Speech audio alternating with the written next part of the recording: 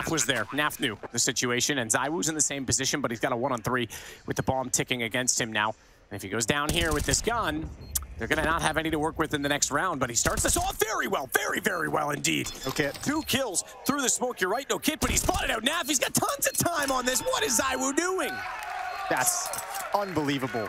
All 1v1s.